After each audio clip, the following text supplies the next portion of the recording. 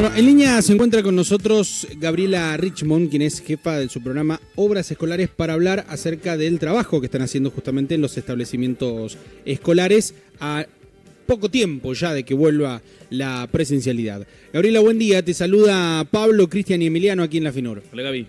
Hola, buenos días chicos, ¿cómo están? Muy bien, bien, gracias, gracias por atendernos.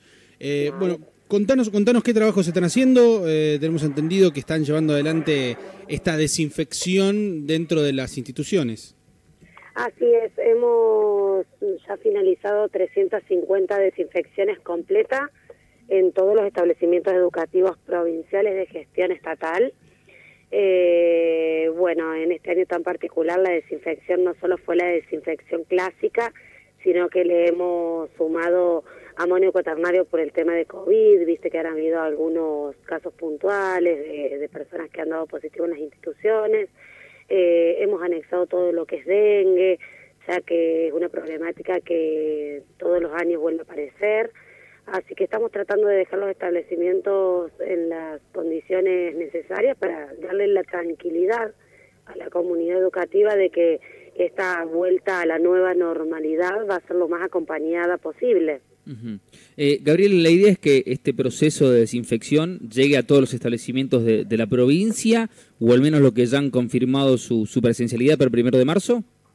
Eh, este servicio de desinfección va a ser para todos los establecimientos de la provincia de gestión pública estatal eh, y en el caso puntual de algunos colegios en los cuales hemos encontrado algunas plagas un poquito superiores, también se, se ha realizado y en otros casos se está realizando en este momento desinfecciones más completas, eh, atacando justamente, digamos, la problemática de la institución.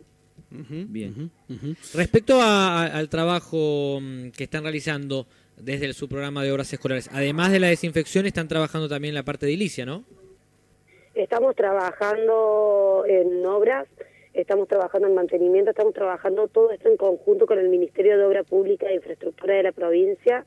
Se está haciendo una movida gigante eh, en la cual la intención es que, sobre todo la parte sanitaria, esté sumamente en condiciones para poder acompañar a esta comunidad educativa que vuelve después de una pandemia, que vuelve después de un año en el cual hubo mucho miedo, eh, mucha preocupación, nos enfrentamos a algo nuevo, entonces queremos darles todas las, todas las condiciones necesarias y la tranquilidad de que los vamos a acompañar.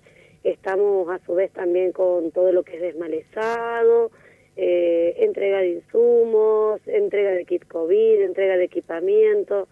Eh, la apuesta de gobierno ha sido gigante para que para que la comunidad educativa se sienta acompañada en esta nueva presencialidad. En estas dos semanitas que quedan de febrero, poquito menos, poquito más, eh, siguen con el cronograma, ¿no? De, realizando estas tareas. Seguimos con el cronograma y más fuerte que nunca, porque estamos ya, digamos, a punto de comenzar y el pedido, digamos, es, nuestro gobernador quiere que los chicos se sientan sumamente tranquilos, que no falte nada. Bien. bien, bien. Gabriela, te agradecemos por, por este tiempo y bueno, felicitamos esta tarea que están llevando adelante y que sea un buen regreso a las clases entonces.